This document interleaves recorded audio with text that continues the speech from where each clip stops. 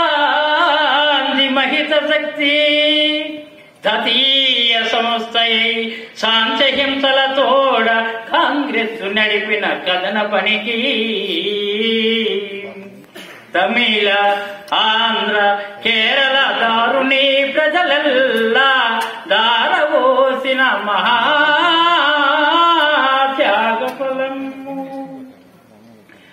మాతృదేశముగా వక్షాశ్రమూల్యుడై భూసు పడరాని ఇడుమల పడిన శ్రమయు పండిత హృది పటే పటాభియు రాజాది నరపిన రాజ్యపటిమ వచ్చనిదిగో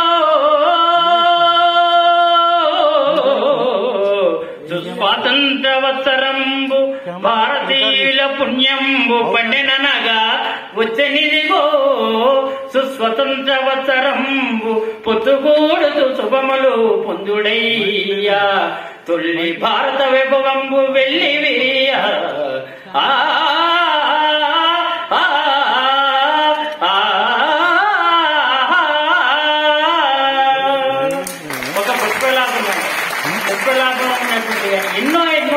ఎన్నో పద్యాలు నిజంగా ఇందాక వరప్రసాద్ రెడ్డి గారు చెప్పినట్టు అవి ఎంత చూసినా సరే పద్యానికి ఒక వరవడి.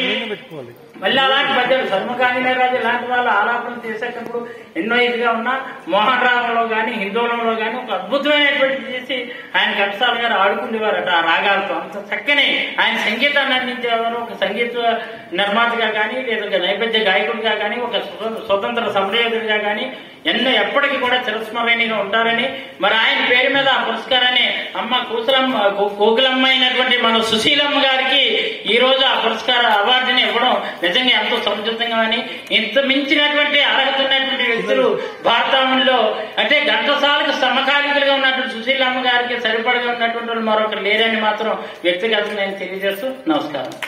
ఈ వీడియో నచ్చితే ఓ లైక్ కొట్టండి లేకపోతే కామెంట్ చేయండి బట్ సబ్స్క్రైబ్ చేయడం మాత్రం మర్చిపోకండి.